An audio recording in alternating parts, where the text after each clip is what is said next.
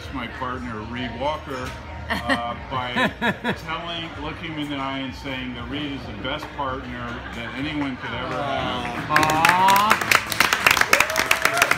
I'm gonna cry. I'm gonna cry.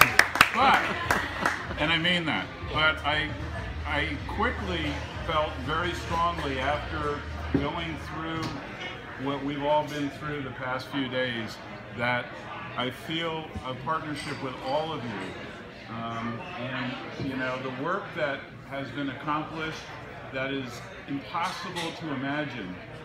Uh, magic happened tonight, you know, three hours, four hours before kickoff.